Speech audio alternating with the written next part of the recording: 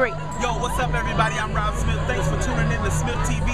I am currently downtown Grand Rapids at the Rosa Parks Center where we are jumping off live. If you can look on the side of me, people are just enjoying themselves, um, experiencing a fashion show sponsored by Hush Puppies.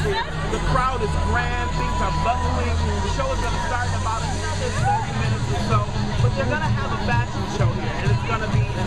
an excellent thing.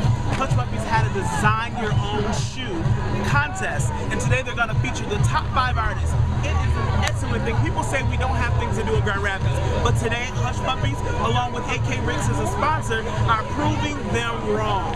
It's a great day in Grand Rapids. I'm going to keep you posted. We're going to see what's going to happen next. There's some exciting things going on. Stay tuned.